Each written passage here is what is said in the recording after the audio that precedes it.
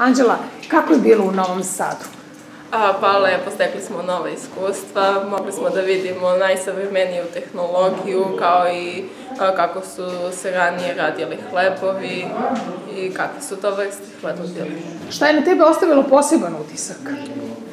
Pa, bilo je lepo, mogli smo sve da vidimo, mogli smo da steknemo novo znanje koje bi nam koristilo u školi.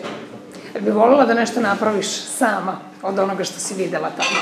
Pa da, pokušala bih. Je bilo dosta vršnjaka, pretpostavljam, razmene iskustava?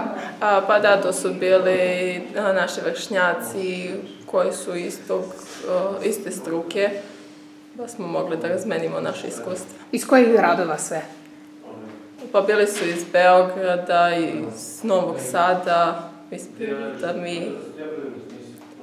Generalno pozitivni utisci, ali tako? Da.